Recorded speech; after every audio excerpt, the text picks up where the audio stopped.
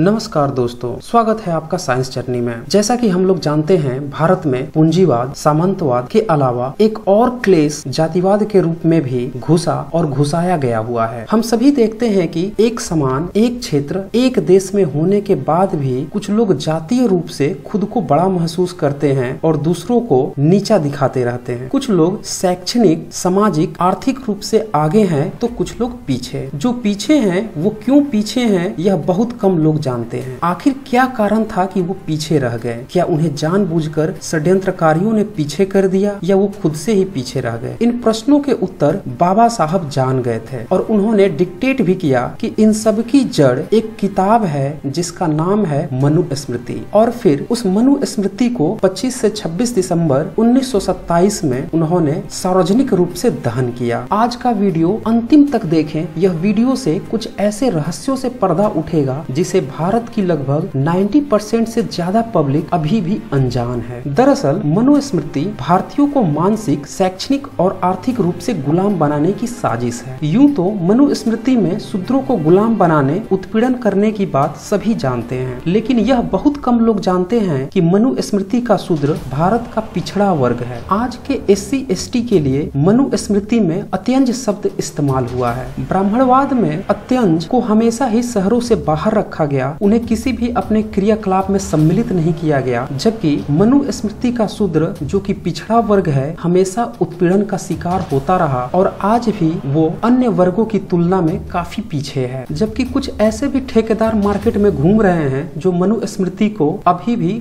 समर्थन दे रहे हैं और बोल रहे हैं, यही भारत का संविधान है, उनके ऋषि मुनियों का संविधान है, जो कि पूरी तरह से षड्यंत्र का हिस्सा है। इस वीडियो में मैं मनु स्मृति के कुछ ऐसे श्लोक प्रस्तुत करूँगा, जिसे देखकर आप इस षड्यंत्र को अच्छी तरह से समझ जाएँगे। यूँ तो भारत में 28 से 30 प्रतिशत एस सी जबकि शूद्र, जो कि पिछड़ा वर्ग है, वो 60 प्रतिशत के करीब है। फिर यहाँ पे यह प्रश्न उठता है कि इतनी बड़ी आबादी को मुट्ठी भर लोगों ने मनु स्मृति के माध्यम से कैसे गुलाम बना लिया? दरअसल गुलाम बनाने के लिए कुछ षड्यंत्र की ज़रूरत होती है, और उसी षड्यंत्र का नाम मनुस्मृति है। शूद्रों को गुलाम बनाने के लिए मनुस्मृति में पहले उनके आत्मसम्मान को गिराया गया। फिर उन्हें शिक्षा के अधिकार से रोका गया। फिर उनकी आर्थिक यानी कि धन रखने नहीं दिया गया और फिर उन्हें सामाजिक रूप से लाचार बना दिया गया। और जब इस तरह का कोई वर्ग बन जाएगा, तब उससे आप आसानी से गुलामी करवा सकते हैं और फिर उसका उत्पीड़न कर सकते हैं। तो इस तरह से पिछड़े वर्ग को पीछे किया गया। अब ये सारी बातें मैं अपने तरफ़ से नहीं कह रहा हूँ। मनुस्मृति के कुछ श्लोक देखिए, उससे आपको स्पष्ट हो जाएगा। अब कुछ लोग यहाँ पे मिलावटी मिलावटी भी कह सकते हैं कि ये किताब मिलावटी है तो मैं आपको बता दूँ कि मार्केट में जो भी मनुस्मृति उपलब्ध है, उसमें से तीन मनु स्मृति का मैंने हवाला लिया है और उन सब का मिलान करके यह वीडियो बना रहा हूँ। जिसमें से एक है रूपेश ठाकुर प्रसाद प्रकाशन का, दूसरा गीता प्रेस प्रकाशन और तीसरा है पंडित गिरजा प्रसाद द्विवेदी का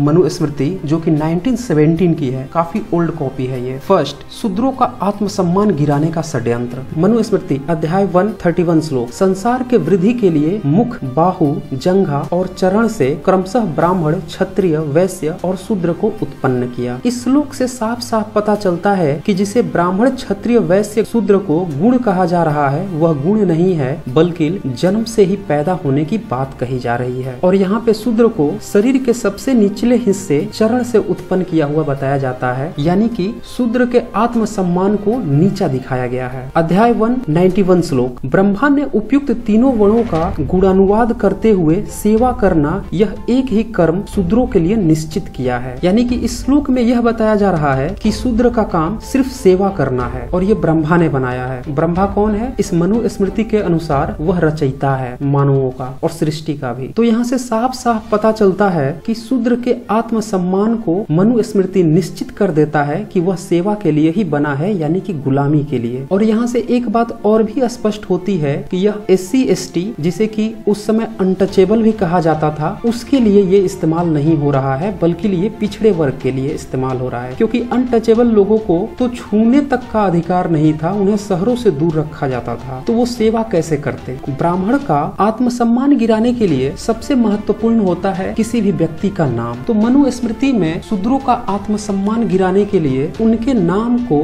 बहुत ही निंदा युक्त या कह सकते हैं कि खराब नाम रखने का आदेश देता है, ताकि वो ज़िंदगी भर अपने इस नाम के कारण कभी भी आत्मसम्मानित न हो सके। देखें अध्याय टू थर्टी वन श्लोक। ब्राह्मण का मंगलवाचक, क्षत्रिय का बलवाचक, वैश्य का धन से युक्त और शूद्र का निंदा से युक्त नाम रखना चाहिए। यही कारण है कि आज भी आप देखेंगे कि जितने भी पिछड़े वर्ग हैं, उसमें से अधिकांश लोग अभी भी अपने बच्चों का नामकरण ब्राह्मण को बुलाकर करवाते हैं। और जब ब्राह्मण आएगा तो नाम कैसा रखेगा? निंदा युक्त क्योंकि मनु स्मृति में यह क्लियर कट लिखा हुआ है। अन्यथा आप इसी से सोचे, कोई वर्ग अपने बच्चों का नाम किसी दूसरे से क्यों करवाया गया? लेकिन यह जो नियम बनाया गया, यह नियम इसीलिए बनाया गया ताकि ब्राह्मण आकर किसी के बच्चे का नाम रखे और मनु स्मृति के हिसाब से नाम रखे। यानी कि आत्मसम्मान का जो नाम है, वो गिरा हुआ रखे और ताकि ज़िंदगी भर वो शूद्र कभी नाम से सम्मानित ना हो सके। इसलिए आपने देखा होगा, गाँव में किसी का नाम तोताराम होता है, किसी का मंगरुआ होता है, जबकि ब्राह्मण अपने बच्चों का नाम इस तरह से नहीं रखता। इसी के अगले श्लोक में मनु स्मृति उदाहरण भी देता है कि नाम किस तरह का रखे। सर्मांत ब्राह्मण का, जैसे गोपीनाथ शर्मा, क्षत्रियो का रक्षा से युक्त, जैसे कि रघुवीर सिंह या रामनाथ वर्मा, वैश्य का पुष्टि से युक्त, जैसे घनश्याम गुप्त और शूद्र का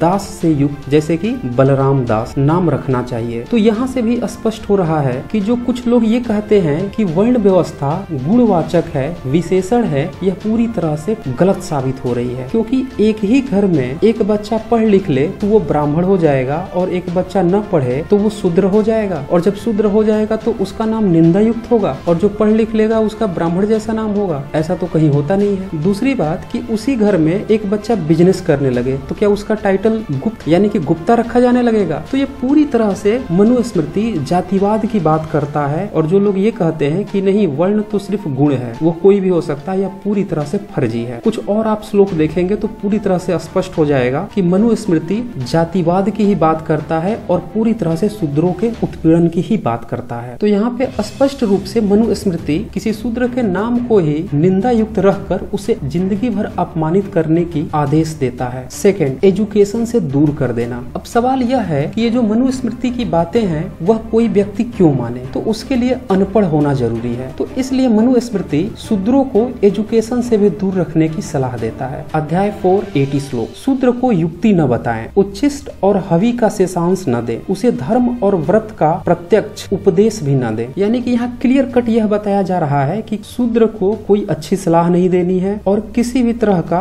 कोई उपदेश भी नहीं देना है। अब इसी का अगला श्लोक देखें। जो दूसरे धर्म का उपदेश और व्रत का आदेश करता है, वह उस शूद्र के साथ असंवृत नामक अंधकार में नरक में जा गिरता है। यहाँ भी यह पूरी तरह से बताया जा रहा है कि शूद्र को अगर कोई दूसरे धर्म का उपदेश या व्रत रख रहा है तो वह शूद्र की तरह अंधकार में नरक में जा गिर रहा है। यानी शूद्र को यहाँ भी किसी दूसरे धर्म, यानी कि यहाँ भी किसी दूसरे धर्म का भी उपदेश नहीं सुनना है, न व्रत रखना है। पूरी तरह से अपने एजुकेशन से दूर और किसी दूसरे धर्म के भी एजुकेशन से दूर। अध्याय तीन 156 श्लोक। वेतन लेकर पढ़ाने वाला, वेतन देकर पढ़ने वाला, शूद्र से पढ़ने वाला या शूद्र को पढ़ाने वाला कटुभाषी, सधवा या विधवा के पेट से पर पुरुष द्वारा उत्पन्न ब्राह्मण, देव और पितृ दोनों कार्यों से त्याज्य है। त्याज्य मतलब प्रतिबंधित है। अब यहाँ पे क्लियर कट लिखा हुआ है कि शूद्र से पढ़ने वाला और शूद्र को पढ़ाने वाला। तो जो लोग ये बोल रहे हैं कि शूद्र गुण है, उनके मुँह पर यह तमाचा है श्लोक। वास्तव में शूद्र से पढ़ने वाला, यानी कि जाति की बात हो रही है। अन्यथा वो किसी को पढ़ाएगा कैसे? अगर एक शूद्र पढ़ा हुआ है,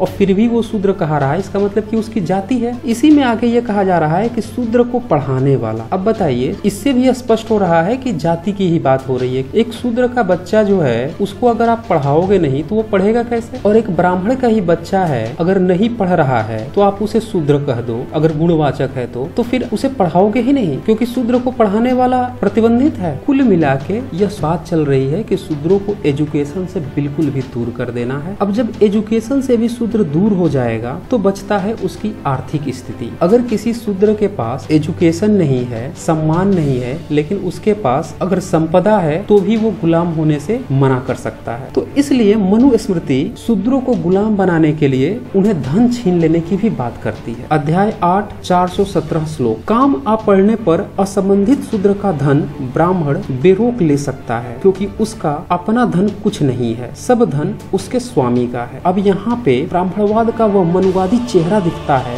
जो एक लुटेरा, एक अमानवीय परजीवी की तरह शूद्र से धन छीन लेने की बात करता है। एक और श्लोक देखें। अध्याय दस, वन ट्वेंटी नाइन श्लोक। धन संचय करने में समर्थ होता हुआ भी शूद्र धन का संग्रह न करे, क्योंकि धन को पाकर शूद्र ब्राह्मण को ही बाधता है। देखा, यहाँ पे इनका चेहरा भी उजागर हो गया कि अगर धन मिल गया शूद्र को तो वो ब्राह्मण को बाधता है। मतलब उससे आगे जा सकता है, या ब्राह्मण को उससे दिक्कत हो सकती है। तो इसलिए भी शूद्र को नीचे रहना, पीछे रहना ज़रूरी है, गुलाम बनाए रखना ज़रूरी है, इसीलिए उसका धन भी छीन लेना ज़रूरी है। इसकी वकालत करता है मनुस्मृति। अब जब उसे आत्मसम्मान रूप से, शैक्षणिक रूप से और आर्थिक रूप से पंगु बना दिए तो अब बचता है कि उसे सामाजिक रूप से गुलाम बना देना। इसकी वकालत में मनुस्मृति अध्याय नौ थ्री थ्री फोर श्लोक में लिखता है, वेदों को जानने वाले ब्राह्मणों की और यशस्वी गृहस्थों की सेवा करना ही शूद्रों को स्वर्ग देने वाला परम धर्म है। क्लियर कट यहाँ पे यह बात हो रही है कि शूद्र का काम क्या है? ब्राह्मणों की सेवा करना। अध्याय नाइन थ्री थ्री फाइव श्लोक। यत्न और वाणी से पवित्र रहने वाला, श्रेष्ठ जातियों की सेवा करने वाला, मीठा बोलने वाला, अहंकार रहित और ब्राह्मण के आश्रित रहने वाला शूद्र अपने से उत्कृष्ट जाति को पाता है। अब यहाँ क्लियर क्लियर यह बात लिखी हुई है कि शूद्र ब्राह्मण पे अगर आश्रित हो, तभी वह उत्कृष्ट जाति को पाएगा। अन्यथा वो निकृष्ट ही रह जाएगा। यानी कि यहाँ भी ब्राह्मण की गुलामी की बात हो रही है। अब जब उसके धन छीन लिया गया, गुलाम भी बना लिया गया तो फिर शूद्र अपनी जीविका कैसे चलाएगा? उसके लिए मनुस्मृति अध्याय दस, एक श्लोक में लिखता है, ब्राह्मण की सेवा करते हुए यदि शूद्र का जीवन निर्वाह न हो तो क्षत्रिय की सेवा करे। यदि उससे भी पेट न भरे तो धनिक वैश्य की सेवा कर जीवन निर्वाह करे। यानी कि शूद्र को ज़िंदगी भर गुलाम ही रहना है, चाहे ब्राह्मण की या क्षत्रिय की या फिर वैश्य की। इसी के अगले श्लोक में देखें। वह शूद्र स्वर्ग के लिए या दोनों स्वार्थ और परमार्थ के लिए ब्राह्मणों की ही सेवा करे। इस शूद्र की ऐसी प्रसिद्धि होना ही उसके लिए कृतकृत्यता है। यानी कि ब्राह्मण की सेवा जो शूद्र कर रहा है, तभी उसे स्वर्ग मिलेगा, स्वार्थ और परमार्थ मिलेगी। प्रलोभन भी दिया जा रहा है। कुल मिला के शूद्र को कैसे भी करके ब्राह्मण की सेवा करनी ही करनी है। ये मनुस्मृति वकालत कर रहा है। अब इसी का अगला श्लोक देखें। ब्राह्मण की सेवा करना ही शूद्र का विशिष्ट कर्म कहा गया है। इस कार्य से भिन्न वह जो कुछ कार्य करता है, वह उसके लिए निष्फल होता है। मतलब ब्राह्मण की सेवा करेगा अगर शूद्र, यानी कि पिछड़ा वर्ग यही उसका कर्म है। उसके अलावा उसका कोई कर्म नहीं है। और दूसरा काम करेगा तो वो निष्फल हो जाएगा। यानी कि उसमें वो फेल हो जाएगा। अध्याय दस, वन ट्वेंटी फाइव श्लोक। उस शूद्र को जूठा अन्न, पुराना वस्त्र, सारहीन अन्न, पुराना ओढ़ना और बिछौना देना चाहिए। अब यहाँ पे ये बता रहा है कि शूद्र को देने की बात हो रही है। हालाँकि इसके पहले श्लोक को देखें तो यहाँ पे जो दे रहा है वो ब्राह्मण है और उसके यहाँ जो सेवा कर रहा है वो शूद्र है। तो देखिए कितनी बड़ी भेदभाव की बात हो रही है कि जूठा अन्न देने की बात हो रही है, पुराना वस्त्र देने की बात हो रही है, पुराना ओढ़ना और बिछौना देने की बात हो रही है। मतलब ब्राह्मणवाद या यूँ कहे मनुवाद, इतना गिरा हुआ अमानवीय है जो शूद्र को जूठा अन्न देने की बात कर रहा है। तो इस तरह से शूद्रों की गुलामी कराने के लिए और भी कई सारे श्लोक हैं, लेकिन समय की कमी के कारण मैं कुछ चुनिंदा श्लोकों को ही यहाँ पेश कर रहा हूँ। आजकल कुछ धर्म के धंधेबाज यह प्रचारित कर रहे हैं कि मनुस्मृति संविधान की तरह है और उसमें पनिशमेंट के बड़े अच्छे रूल दिए हुए। उसमें से भी कुछ श्लोक मैं आपको दिखा देता हूँ। ये जितने भी पनिशमेंट के रूल दिए गए हैं, ये सारे के सारे शूद्र के उत्पीड़न के लिए है। और यहाँ पे मनुस्मृति के लेखकों ने या यूँ कहे ब्राह्मणवाद ने खुद को लाभ लिया है और शूद्रों का उत्पीड़न किया है। यह श्लोक देखें। शूद्र यदि ब्राह्मण, क्षत्रिय और वैश्य को पापी आदि क्रूर वचन कहे तो उसे जिहवा छेदन का दंड देना चाहिए, क्योंकि उसकी उत्पत्ति जघन्य स्थान से है। तो जो शुरू में मैंने बताया था कि जो पैरों से उत्पन्न इनने बताया है शूद्रों को, वो यहाँ पे आ ही गया सब कि शूद्र की उत्पत्ति जघन्य स्थान से है तो उसका जीव काट देना चाहिए। अगर वो ब्राह्मण, क्षत्रिय और वैश्य को पापी शब्द भी बोल देता है, या इस जैसा कुछ और बोल देता है। ये है मनुवाद, ये है पनिशमेंट के रूल और ये शूद्रों के लिए। इसी आठवें चैप्टर के, इसके पहले के कुछ श्लोकों को देखें तो साफ़ पता चलता है कि शूद्रों के साथ भयंकर रूप से भेदभाव किया गया है पनिशमेंट में। जैसे 267 श्लोक को देखें। ब्राह्मण को चोर, चंडाल इत्यादि कटु वचन कहने वाले क्षत्रिय को 100 पड़ वैश्य को 150 पड़ या 200 पड़ दंड करे। शूद्र को प्राण दंड करना चाहिए। यानी कि ब्राह्मण क्षत्रिय और वैश्य से अगर गाली सुनता है तो पैसे लेकर छोड़ सकता है। लेकिन शूद्र से अगर गाली सुनता है तो सीधे प्राण दंड देने की बात कर रहा है। 268 श्लोक। इसी का अगला श्लोक देखें। यदि शूद्र द्रोह से ब्राह्मण आदि द्विजातियों का नाम और जाति ग्रहण पूर्वक बुरी बात कहे तो जलती हुई दस अंगुल की लोह सलाका उसके मुँह में डाल देनी चाहिए। ये है मनुआ इसी का अगला श्लोक देखें।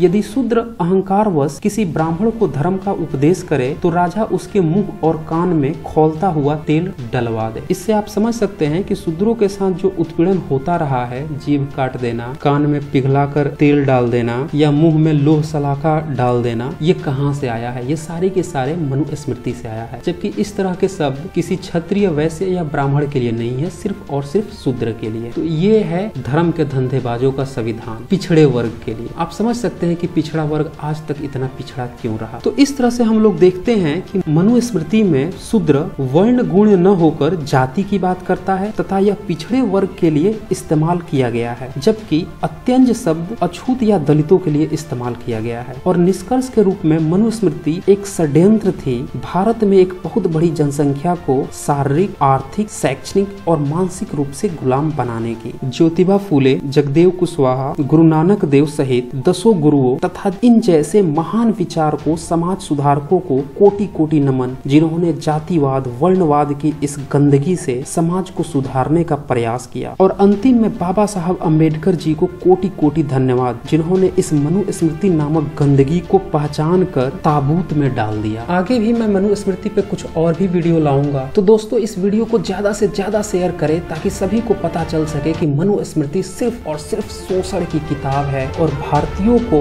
मानसिक गुलाम बनाए रखने के लिए सामाजिक, आर्थिक, शैक्षणिक तौर पे यह रची बसी और बुनी गई है। यह संविधान तो बिल्कुल भी नहीं है, बल्कि यह षड्यंत्र है और इसकी वकालत करने वाले सिर्फ़ और सिर्फ़ षड्यंत्रकारी है। भारत के गुलाम होने का भी कारण यही रहा है क्योंकि एक बहुत बड़ी जनसंख्या को गुलाम बना दिया गया। और जब कोई गुलाम होगा तो वो अपने देश के लिए, अपने समाज के लिए लोग बट जाएँगे और यही कारण था कि भारतीय लोग आपस में बटे रहे। और इसीलिए भारत को कई बार गुलामी भी झेलनी पड़ी। तो आज बस इतना ही। धन्यवाद।